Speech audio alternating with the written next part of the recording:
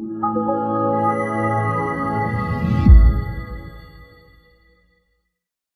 everyone, and welcome back to Armatus Designs. Today we're going to be doing a tutorial on slush casting or roto casting. It's the same process, it just has a couple names. And the way we're going to do that is using the mold that we made in the last video to cast a Batman helmet.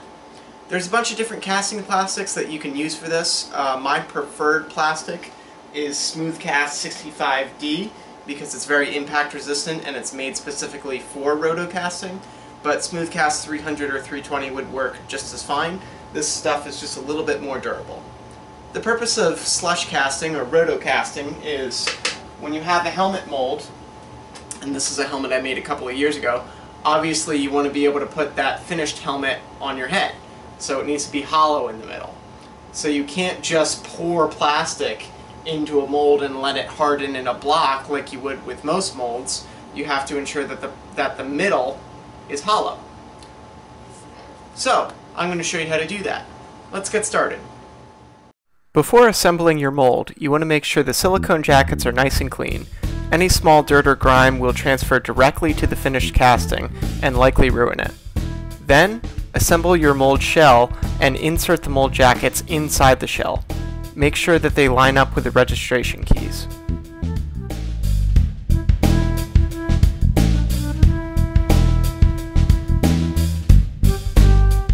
Once the silicone jackets are inside their respective shells, take time to line up the silicone jackets and the shells accurately. It's important that the silicone jackets meet so the seam line between them almost disappears. This ensures a good casting. Now it's time to mix up some resin. Pour equal amounts of your resin into small disposable cups. This ensures you have the same amount of both materials. Then mix them together into a larger cup. I've also added black dye to this particular casting, as I prefer darker castings to the normal bright white colors of this material.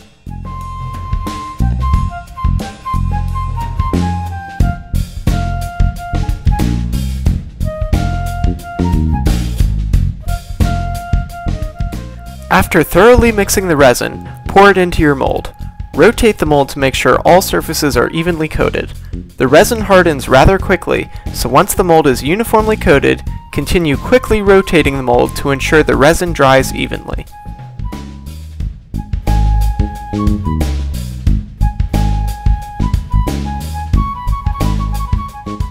How quickly the resin cures depends on how thick a layer was used and how hot the mold is. It's easy to tell when the resin has hardened by its change in color.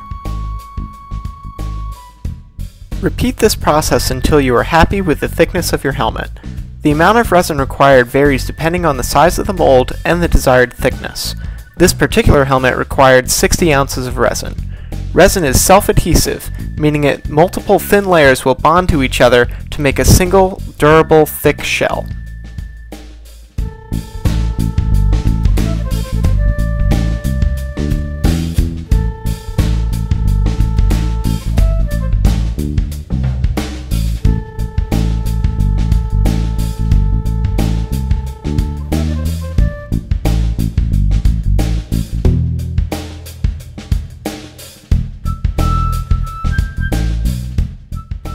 After allowing for proper cure time, in this case 1 hour, it's time to demold your casting.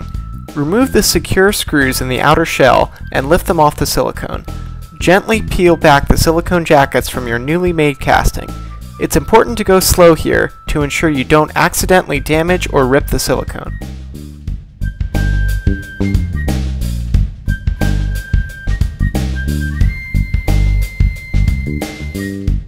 Most molds produce flashing around a casting, which are thin hmm. sections of resin that slipped between the jacket seams. These are easily trimmed away, and in most cases can even be removed with just your hands. This particular mold also produces a small lip around the perimeter of the helmet, which can be removed with a Dremel and a bit of sanding. So, here's the casting that we just pulled out of the mold. As you can see, there's still plenty of work to be done to it before it is a finished helmet, notably trimming away the excess material with a Dremel, doing a little bit of sanding and prep work before it is painted, and then it becomes this, which is a finished version of the same helmet. So once it's given enough prep work and TLC, it becomes a wearable piece. Thanks for watching. See you guys next time.